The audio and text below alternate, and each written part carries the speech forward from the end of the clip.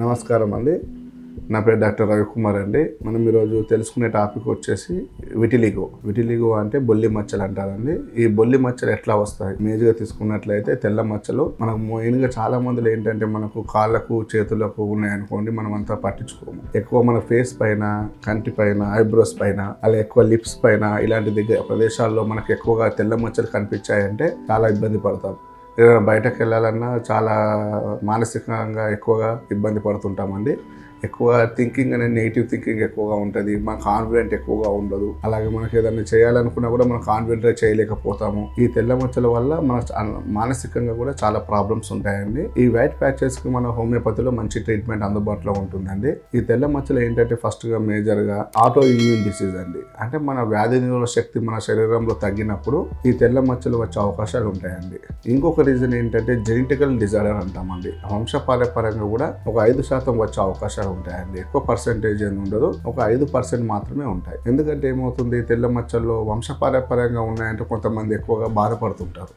Sir నాకు తెల్ల మచ్చలు ఉన్నాయి. మా పిల్లలు పుట్టే పిల్లలు కూడా తెల్ల మచ్చలు వస్తాయేమో అని ఎక్కువ ఇబ్బంది పడుతుంటారండి. అలాంటివి ఎక్కువ ఉండవు. Just five percent chances maybe ఉంటే ఉండొచ్చు. అలా కొంతమంది ఏం చేస్తుంటారు? తెల్ల మచ్చలు ఉంటే వాళ్ళని పెళ్ళి చేసుకోవాలా లేదా? అంటే మ్యారేజ్ చేసుకుంటే మళ్ళీ వాళ్ళ నుంచి కూడా మనకు ప్రాబ్లమ్స్ వస్తాయి. పుట్టే పిల్లలకు ప్రాబ్లమ్స్ వస్తాయి అనుకుంటారండి అలాంటివి కూడా ఎలాంటి ఇబ్బంది ఏమి ఉండదండి. ఎందుకంటే తెల్ల మచ్చలు అనేటివి ఎక్కువగా మనకు ఆటో ఇమ్యూన్ డిసీజ్ వల్ల వస్తాయి. అంటే పిగ్మెంటేషన్ లోపం వల్ల వస్తాయి. కాబట్టి అలాంటి వాళ్ళకు కూడా మనకు మ్యారేజ్ సంబంధాలు అలాంటివి ఉన్నప్పుడు కూడా మనకు భయపడాల్సిన అవసరం ఏమి ఉండదండి. మేజర్ ఈ తెల్ల మచ్చలకు మనకు మెయిన్ మిలనిన్ పిగ్మెంట్ అనేది ముఖ్యమండి. ఈ మెలనిన్ పిగ్మెంట్ అనేది పూర్తిగా తగ్గిపోవడం నశించిపోవడం వల్ల అక్కడ ఉన్న స్కిన్ పైన పూర్తిగా తెల్లగా మారిపోతుందండి. ఈ వీటికి చాలామంది ఏం చేస్తుంటారు? ఆయింట్మెంట్స్ లోషన్స్ అలా అప్లై చేస్తుంటారు. అది చేసినంతసేపే తగ్గుద్దండి. మళ్ళీ మళ్ళీ తెల్ల మచ్చలు స్ప్రెడ్ అవుదే అవకాశాలు ఉంటాయి. కాబట్టి మనం ఏం చేస్తుంటాం? ఈ స్కిన్ లోపల ఉన్న మెలనోసైట్స్ ఉంటాయి. ఆ మెలనోసైట్స్ నుంచి మెలనిన్ పిగ్మెంట్ అనేది వస్తుందండి.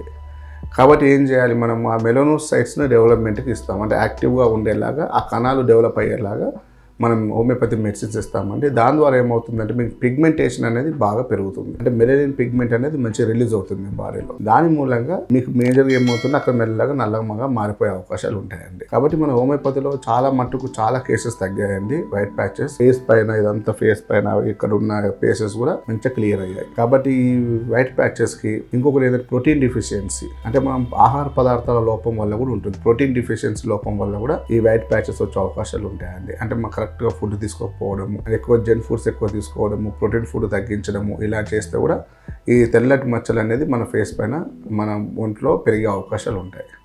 కాబట్టి ఏం చేయాలి మీరు వైట్ ప్యాచెస్కి మామూలుగా ప్రోటీన్ డిఫిషియన్సీ అంటే కొంతమంది ఏం చేస్తుంటారు? వీట్ గ్రాస్ జ్యూస్ అంటామండి ఈ వీట్ గ్రాస్ జ్యూస్ తీసుకోవడం వల్ల కూడా కొంతవరకు మెరుగయ్యే అవకాశాలు ఉంటాయండి. అలాగే మేజర్గా ఏంటంటే వీటికి డైట్ కన్నా మేజర్ ఇంపార్టెంట్ ఎక్కువగా మనం ఎండకు ఉండాలండి. అంటే మార్నింగ్ టైంలో ఎండ వస్తుంది కదండి దానికి సన్కు మనకు ఎక్కడ మనకు వైట్ ప్యాచ్ ఉందో అది ఎక్స్పోజ్ చేసినట్లయితే ఆ ఎండ వల్ల కొన్ని మెలోనోసైట్స్ డెవలప్ అవుతాయి. ఆ మెలోనో స్కిన్ ఉన్న మెలోనోసైట్స్ డెవలప్ అయిపోయి అక్కడ ఉన్న వైట్ ప్యాచెస్ అనేది తగ్గే అవకాశాలు ఉంటాయండి. కాబట్టి ఈ వైట్ ప్యాచెస్కి మన హోమియోపతిలో కాన్స్టిట్యూషనల్ థెరపీ ద్వారా ట్రీట్మెంట్ ఇస్తామండి. మీరు ఖచ్చితంగా ఇవి కొంత లాంగ్ టర్మ్ మీరు వాడుకున్నట్లయితే ట్రీట్మెంట్ శాస్త్ర పరిష్కారం చేయొచ్చు. మన ప్యాచెస్ కూడా క్లియర్ అయ్యే అవకాశాలు ఉంటాయండి. ఎందుకంటే ఇది ఒకసారి మన ఫేస్ మీద ఉన్నాయంటే మాత్రం చాలామంది ఎక్కువ ఇబ్బంది పడుతుంటారు. ఇది దీనివల్ల అనేక రకాలుగా మ్యారేజెస్ కూడా కొన్ని చాలా మ్యారేజెస్ కూడా పోతాయి.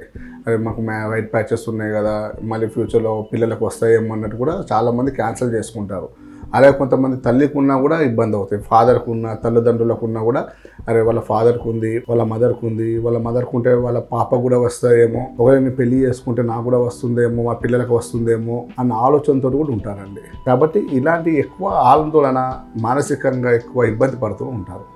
కాబట్టి వీళ్ళకి ఏంటంటే మేజర్గా కంపల్సరీ వాళ్ళు డైట్ ప్రాపర్గా మెయింటైన్ చేసుకుంటూ మన హోమియోపతి ట్రీట్మెంట్ తీసుకుంటే కనుక వాళ్ళ స్వాస్థ పరిష్కారం అయ్యే అవకాశాలు ఉంటాయి. కాబట్టి ఇది ఏంటంటే అంటువ్యాధి కాదండి. మా ఒకళ్ళకు నుంచి ఒకళ్ళకి అంటువ్యాధి అయ్యే అవకాశాలు కాదండి. స్ప్రెడ్డింగ్ అనేది ఏమి ఉండదు.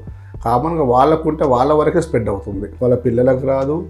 అది టచ్ చేసినా రాదు. ఎవరికి రాదండి. కాబట్టి హ్యాపీగా మనకు ఎలాంటి ఇబ్బంది ఉండదు. ఉన్న వాళ్ళు మాత్రం హోమియోపతి ట్రీట్మెంట్ తీసుకుంటే మాత్రం వాళ్ళకి మంచిగా తగ్గే అవకాశాలు ఉంటాయండి. నమస్కారం అండి.